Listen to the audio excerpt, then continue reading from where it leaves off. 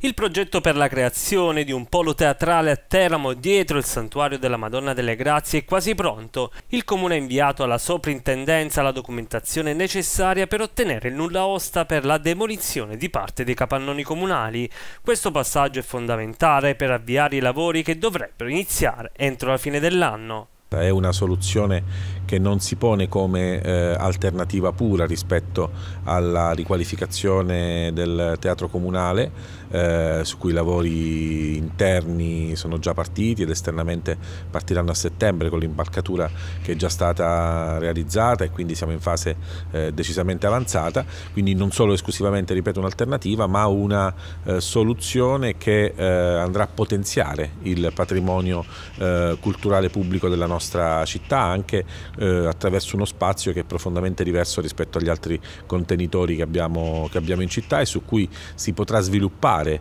eh, laddove verrà portato a termine perché ovviamente ci saranno poi vari passaggi previsti dal project con il Consiglio Comunale una serie di attività che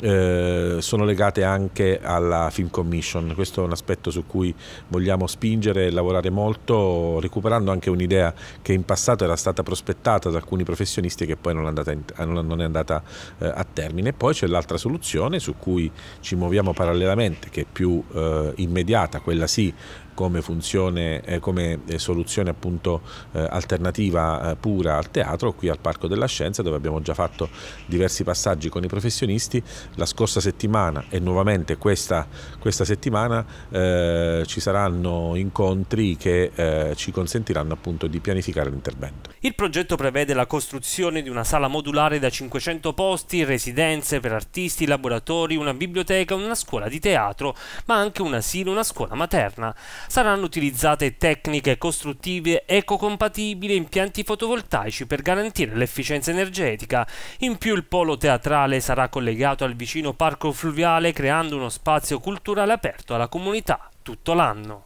uno spazio veramente aperto, culturale aperto, che consentirà anche di sperimentare tantissime attività che non esiste in città e probabilmente non esiste nel territorio regionale. Ecco perché dicevo prima che deve essere legato anche all'attività della Film Commission.